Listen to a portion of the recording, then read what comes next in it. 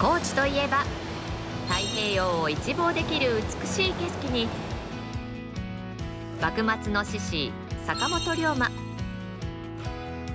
知名度も人気も全国区。夏の風物詩よさこい。だけじゃないんです。フランスが認めた美しい庭園や今年オープンしたばかりのホテル。もちろん地元の食材を生かした絶品グルメまで魅力たっぷりのスポットをご紹介します。今回の旅の案内人は？こんにちは。テレビ瀬戸内アナウンサーの東條舞子です。今回私は一泊二日の高知旅行に訪れています。見てください。この美しい海。太平洋の景色を楽しむことができる琴ヶ浜です。それでは早速行ってきます。高知県の東部を巡る一泊二日の旅。定番から新スポットまで高知再発見ツアー。最初に訪れたのは高知市から東へ車でおよそ90分。北川村モネの庭。その名の通りフランスの印象派を代表する画家モネが愛したジベルニーの庭をイメージした景色を楽しむことができます。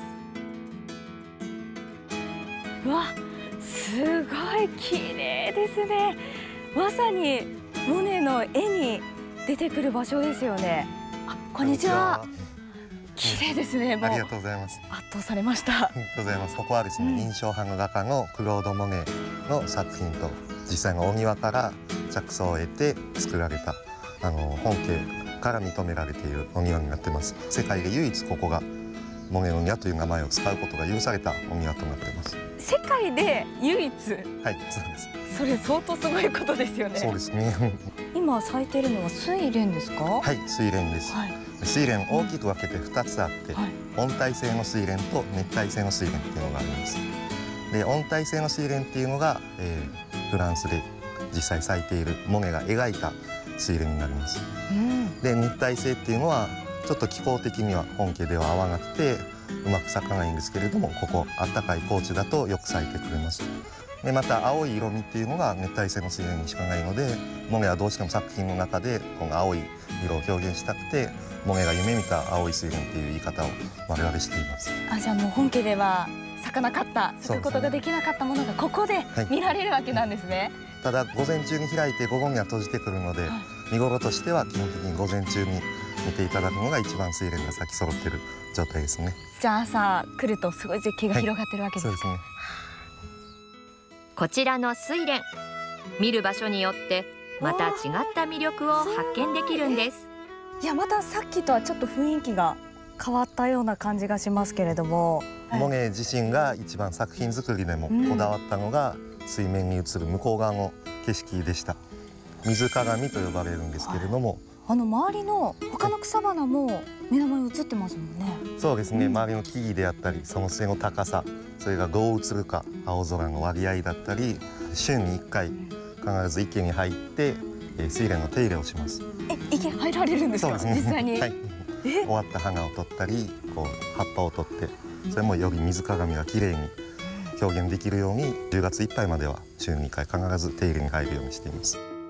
モネといえばもう睡蓮ですし睡蓮といえばモネなので皆さんそこをよく楽しみにいらっしゃるので、はい、やっぱりこれ季節によっても見え方楽しみ方って変わってくるんですか？そうですね。日の角度であったりあるいは紅葉とかそういう水鏡の中でもすごく移ろいゆくものがありますのでそこにあの楽しんでいただけたらと。ずっとここでじっと眺めてたいなっていうふうに思いました、はい、さらに奥へ進むとモネが描いたボルディゲラの風景を楽しめるカフェで一休みできます。爽やかな香りが特徴のローズソーダとグラス内のグラデーションが美しいモネバラパフェをいただきました。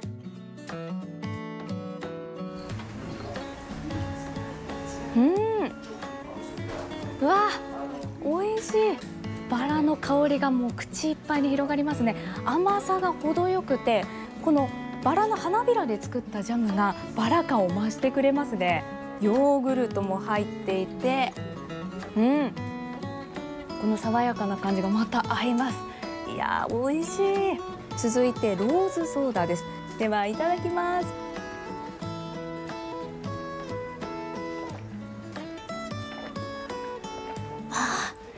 これも本当にバラの香りが後味がすごくすっきりしていてまあ、こちらも甘さも感じるんですけれども飲みやすいですね。うん。美味しいです。旅の醍醐味といえば食事。次に向かったのは室戸市にある料亭花月。深海の高級魚金目鯛を贅沢に使った金目丼をご用意いただきました。室戸金目丼でございます。あありがとうございます。うわすごい豪華。えー、贅沢なお料理ですね。上が金目鯛の照り焼きになります、はい、で、はい、手前が金目鯛の刺身キハダマグロとそれから目鯛ですね今日は。うわ美味しそう、えー、まずは、えー、金目鯛の刺身からどうぞ一番手前ですね。こちらですね。はい。うわすごい。身が厚い。はい。金目鯛のお刺身です。うん。あプリプリ。そうですね、うん、身が引き締まってますね。はい。ほんのり甘みも感じて。うわこれ新鮮っていうのが伝わってきます、はい、美味しいです。二、はい、つ目の食べ方がこちら。はい。金目鯛照り焼きですね。金目鯛の照り焼き初めて食べます。へえどんな味なんでしょう。金目鯛の照り焼きいただきます。うん。ほろほろとこう崩れていくんですけど照り焼きのこの甘辛い感じがまたよく合いますね、ちょっと香ばしい感じもします、ね、うん、あとね煮付けと違ってねあの身がこうひゅっと引き締まってますのでね美味しいかと思います。これご飯進みますね。もうこの段階で お刺身もあって照り焼きもあってこれ止まらないですね。そうです、ええ、うん美味しい。あ最後にですねあのとっておきの食べ方があるんですけども、はい、はい、とっておきの食べ方、はい、はい、あのあの実はここにあの金目鯛の出汁が入ってまして。この中お出汁入ってたんですね、はい、えー、金目鯛茶漬けになるんですはい。お出汁のいい香りがしますね、はい、これは贅沢ですよ。お出汁と一緒にいただきます。うん。いやこれは究極の幸せって感じです 本当に。うん。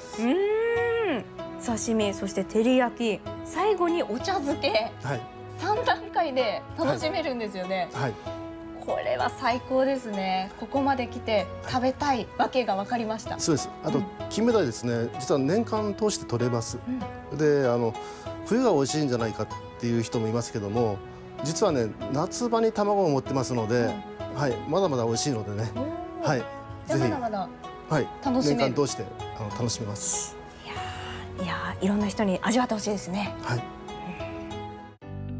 お腹いっぱいになったところでやってきたのは室戸世界ジオパークセンター。こちらでは実際に展示で室戸の大地の成り立ちや地域の文化について学べるんです。こちらには見てください。金目鯛の紹介もありますよ私先ほどいただいたんですけれども美味しかったです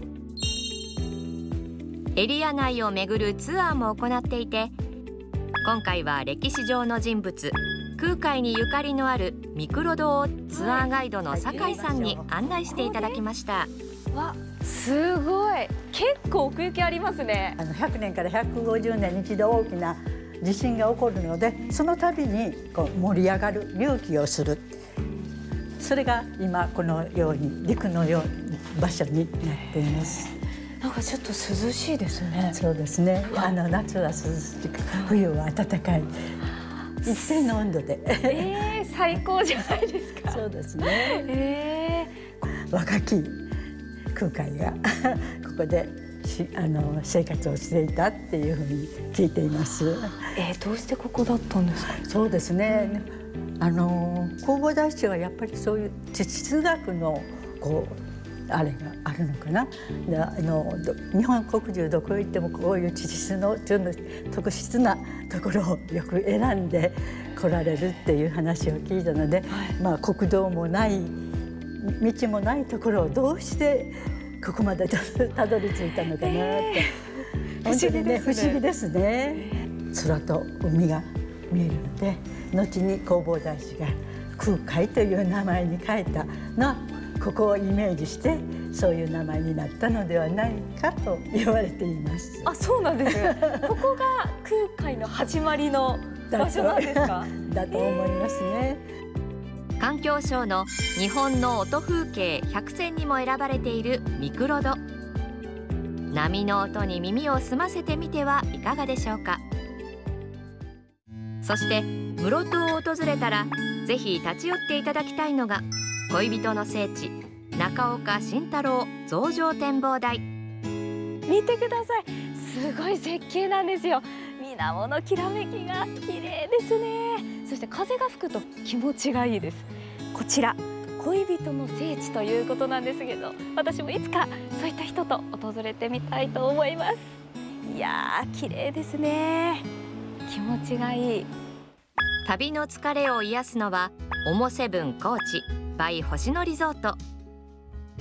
今年6月にオープンしたばかりのこちらは宿泊だけでなくさまざまな楽しみ方ができる注目のホテルです。ご覧ください。さすが星野リゾート。いやモダンでおしゃれな空間が広がっていますよ。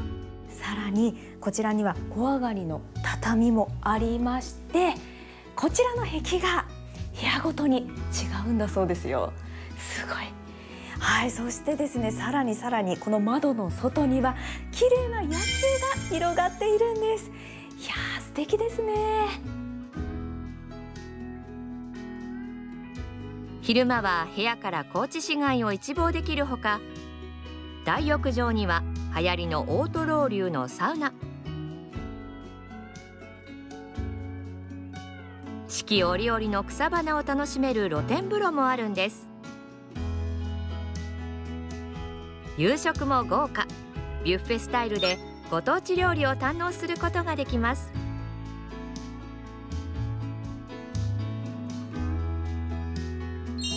中でも注目はカツオのわら焼きとローストビーフ。お客さんの目の前で焼きたてを提供してくれるんです。ご覧ください。私もいろいろなものを取ってきました。色とりどりで美味しそうですね。いや料理長。すごい美味しそうですね。高知はですね前菜から揚げ物デザートまで一緒に盛るこれをさわち料理って言うんですよ。デザートまで一緒に盛ることがあるんですか？はい、え。ー、一つのお皿にいろんな食べ物を乗せる。そして私気になっているのがやっぱり高知といえばカツオ。はいカツオいや美味しそうですね。ではちょっといただいてもよろしいですか、はい、いただきます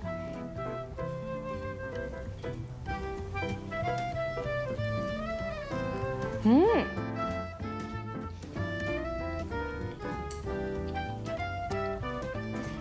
うわ。香ばしいですね。うん。身がぎゅっと引き締まって旨味もこう凝縮されている感じがします。藁でですね高温で一気に焼き上げる。これでですね風味も美しいもみもぎゅっとこう旨味が濃縮されて塩をねたっぷり振ってますんで薬味とぜひねニンニクもつけて食べてください。へあいろいろ乗ってますね。高知県以上ニンニクだけはダメなんですよ。へえいただきます。うんあさっぱりうん後からニンニクがきますね。でしょう。うん最高ですねこれ。旨味がこう増幅されたような味が。お酒飲みたくなる。ぜひぜひそしてもう一つローストビーフ、はい、これも美味しそうですね。綺麗な色してますよ。緑のソースなんですね。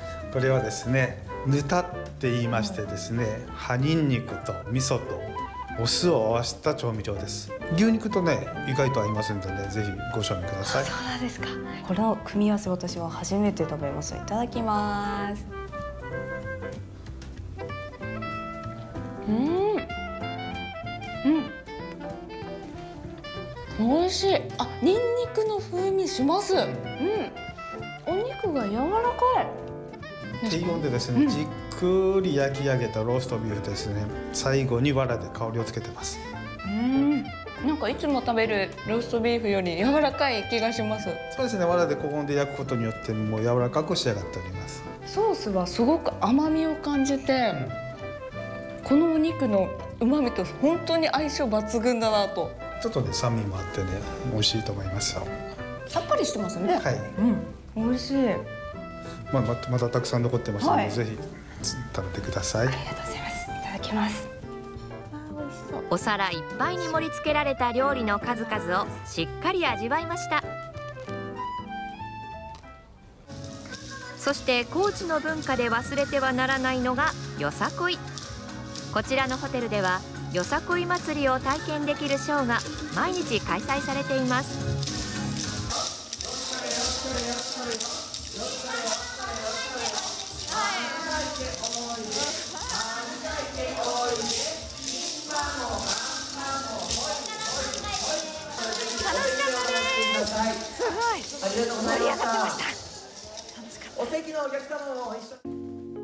お部屋に戻った東條さん楽しかった一日を振り返りながらちょっと一杯。美味しい。うんうん高知の日曜日といえば300年以上の歴史がある日曜市。およそ1キロにわたり300店ほど並ぶ圧倒的なスケールが魅力です。新鮮な野菜や果物のほか金物や植木など売られているものは様々。星野リゾートでは日曜市を楽しめるツアーも用意しています。冷やし飴って書かれてますね。こんにちは。こんにちは、おはようございます。こちら冷やし飴が有名、そうですね。あの高知はその昔から夏の定番の飲み物で冷やし飴というのがあるんですよ。私聞いたことはあるんですけれども、はい飲んだことないんですけどそうですね。あの、はい楽しみ飲んでよろしいですか、はい一ついただいてもはいかなり冷やし飴はわさびのが入ってないんですけど、うちは生姜の専門なんで生姜で炊いてますのでかなり効いてます。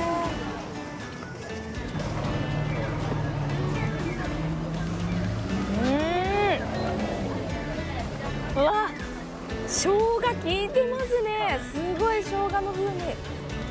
感じます。この甘さが懐かしい。生姜はね、あの胃腸にいいんで、やっぱりあの夏にね、冷たいものを飲みすぎて、夏場で、えーと、そういう防止にも、冷たくても生姜はお腹を冷やさない、体を冷やさない、そういう効果があります。結構じゃあ生姜入ってるんですよね、この入ってまいや美味しいですね。これは飲みたくなる、すごい。いろんなお店があ歩りますねいているとこんなお店も発見。出ますね。あれ？え？何ですかあれ？タコス？タコス。こんにちはタコス珍しいですね。そうですね。日曜市だと多分ここだけかなとは思いますけど。おすすめありますか？えっ、とねミックスっていうのがあるんですけどそれが定番で一番まあ人気というかやつがあるので、ぜひじゃあそれ一つお願いします、はいわかりました。ありがとうございます。紫芋や四万十鶏など地元食材にこだわったタコス。辛さが選べるソースをかけて早速いただきました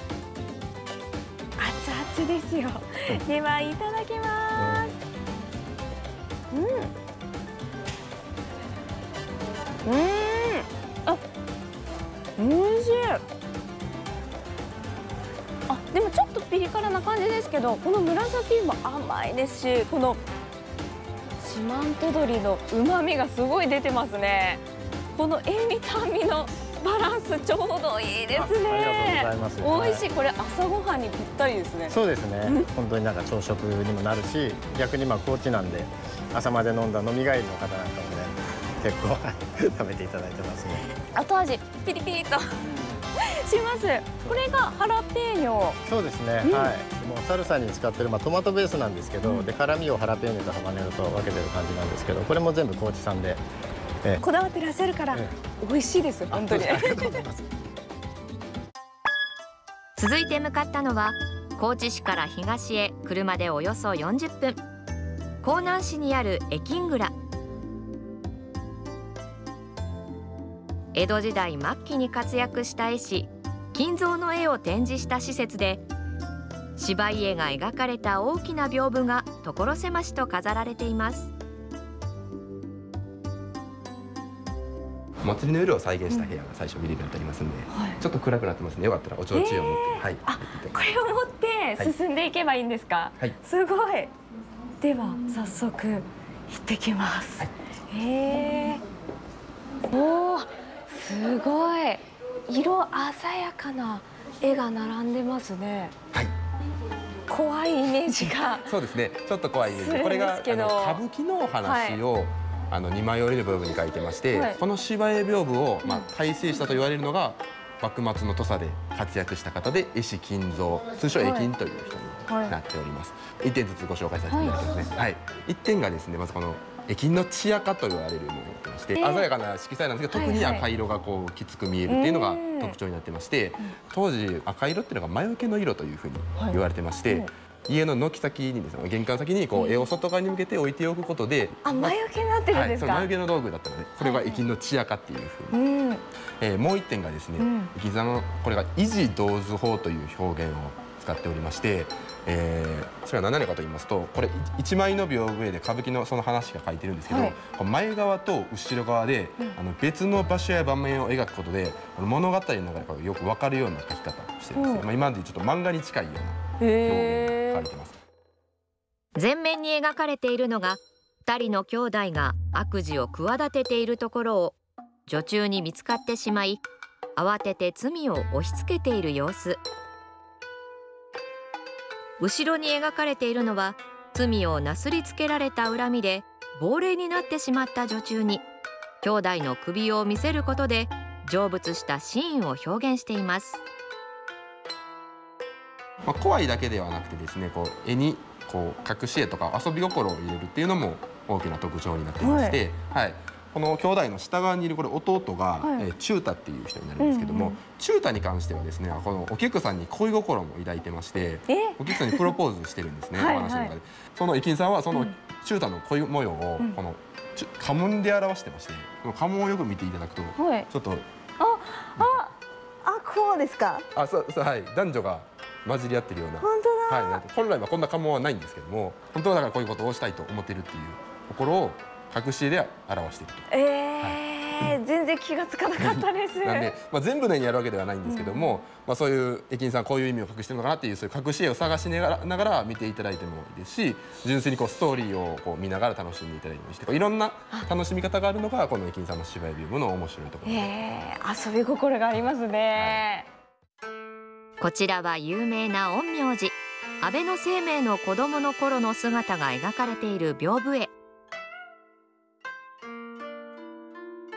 尻尾がある左側の女性は狐が化けた母の姿だそうですがこの絵にも遊び心が隠されているといいます。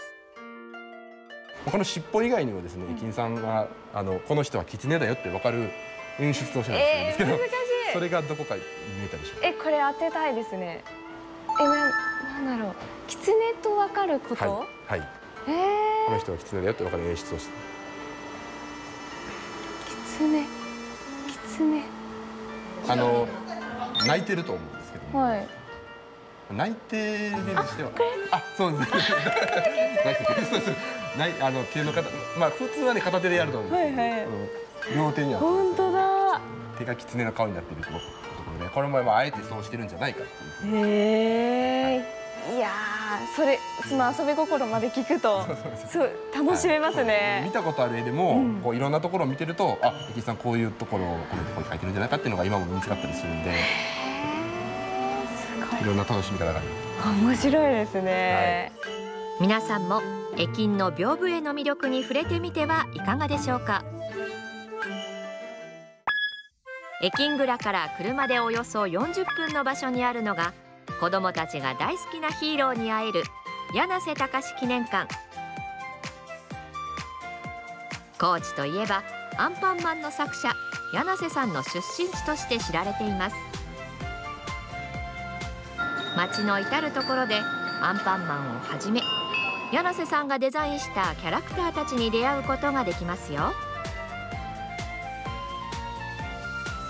アンパンマンミュージアムにやってきました。至る所にアンパンマンのキャラクターがいますよ。こちらにはジャムおじさんにバタコさんチーズもいますね。可愛いですね。東條さんがワクワクしながら館内を進んでいくと。わあすごい。アンパンマンのキャラクターが一面にびっしり書かれてますよどうですかこちら。私あのメロンパンナちゃんが大好きなんですけど。あそうですね。他に書かれてますね、ね、他にもいろいろ書かれていて、結構子供にも大人気のストスポットになってます。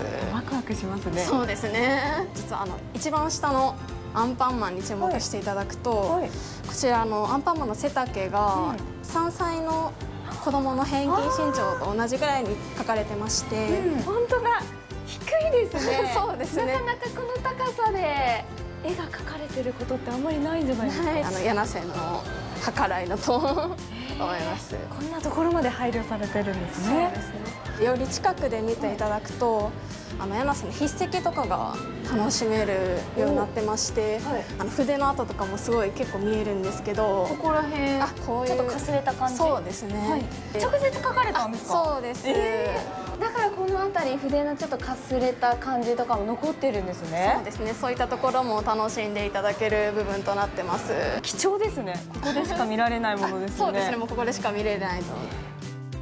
4階のギャラリースペースでは記念館のために書き下ろした作品やここでしか見ることのできない原画なども展示しています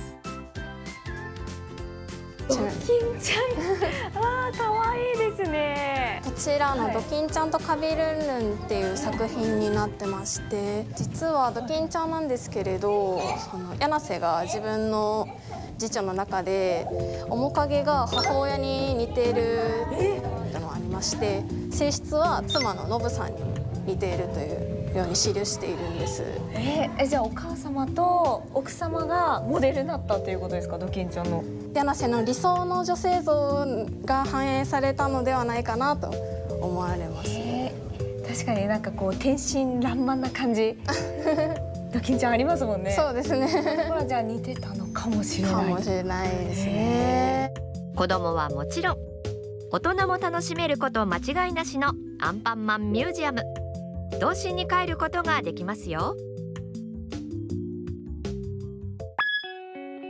旅の最後にやってきたのは高知を一望できる絶景スポット天空の菜の花畑。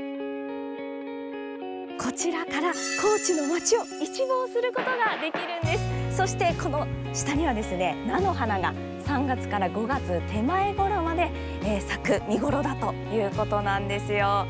いや高知旅最高でした。金目丼にカツオのわら焼き美味しいもの尽くしでした。そしてミクロドにエキングラ。私知らないことがたくさんあって高知の魅力を再発見することができました。皆さんもぜひ高知の魅力まだまだありますので自分だけの最高の旅してみてください。